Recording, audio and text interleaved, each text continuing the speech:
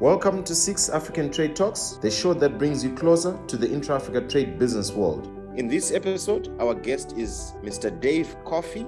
Mr. Coffey is the CEO of the African Association of Automotive Manufacturers, AAAM. The vision of the African Association of Automotive Manufacturers is to industrialize the automotive sector across the continent by working with African governments to shape and implement policies and ecosystems that will attract the investment of global OEMs and component manufacturers and unlock the economic potential uh, of the continent. Our members are from across Africa and include global OEMs, national assemblers, component manufacturers, and service providers that can support the development of effective automotive ecosystems. If you just look at some of the successes in Africa, the government of Ghana approved their policy in March 2020. Since then, VW started assembling vehicles, followed by Toyota more recently, with Nissan to commence assembly in January next year. Uh, Peugeot has just announced its assembly program, and I know three other global brands that will commence assembly by, by the 1st of May 2022. Uh, in Ethiopia at the moment, we are actually working with the, the government to develop an automotive policy, and we hope that that will be approved by the end of the year. We recently had an engagement with the Prime Minister of Egypt, where there's a complete commitment, and it's exciting for the, for the development and implementation of an integrated automotive policy that will make a huge difference to the industrialization of the auto sector in Egypt. In addition, the Parliament of Kenya approved their new automotive policy uh, during this year, and this will be implemented uh, over the next six to 12 months. This is also an exciting development, huge, huge potential in Kenya to grow their, their assembly volumes. That's great. Uh, interesting to hear of this great initiative and these developments that uh, will create employment on our continent and uh, transform our industries. Which countries are at the state of readiness to be part of an African automotive supply chain? So, South Africa and Morocco lead this. They have integrated uh, supply chains. And they're followed by, by Egypt, that's also well industrialized, but not at the same level of depth of development. Uh, and Tunisia is not far behind that, too. Then, if you look at Kenya, Kenya has much potential in its supply chain. I visited the component manufacturers on the ground, and they are a little constrained at the moment by the limited volumes in uh, vehicle assembly in Kenya, but huge potential when the when the volumes pick up. And then you have the infant industry, the new industry of Ghana, where there's very little in the value chain. And that's where we've been taking component manufacturers from South Africa, from Germany, and soon from Egypt to visit Ghana and to explore opportunities of developing a value chain. It's always great to learn from fellow African countries, isn't it? Absolutely. And I would like to see Africa integrate into Africa.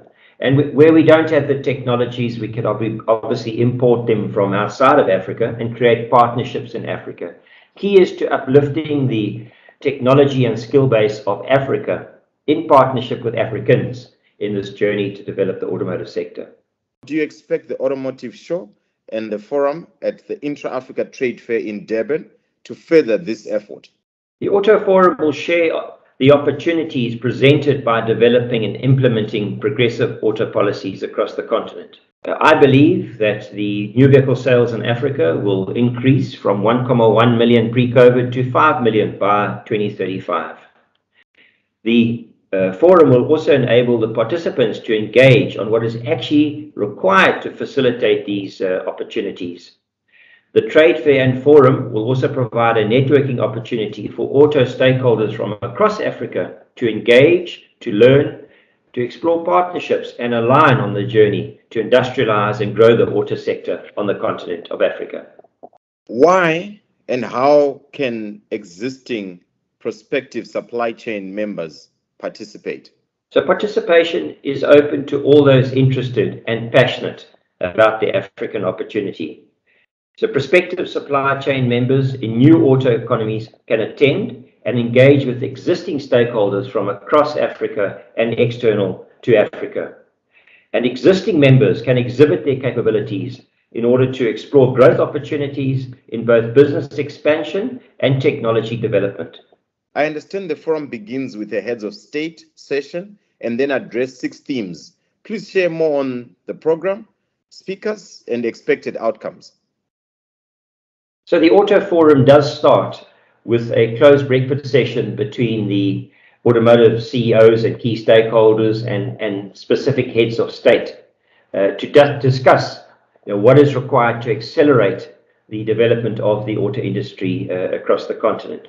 This is followed by a panel session with the heads of state, which will also be given the opportunity for the audience to ask uh, questions. Uh, then we move on to the six themes. And these six themes will take the, the mode of presentation, a case study, followed by a working group.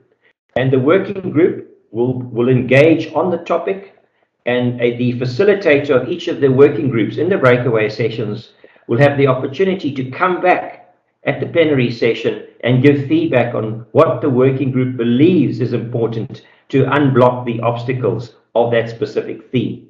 And the themes are development of regional value chains and skills development, the uh, automotive policy, vehicle safety, sustainability, and infrastructure and supply chain.